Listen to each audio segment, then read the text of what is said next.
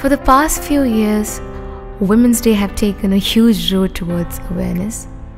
The topics like uh, feminism and women's empowerment has been talked about a lot and brought about huge awareness which was much needed and a long time due.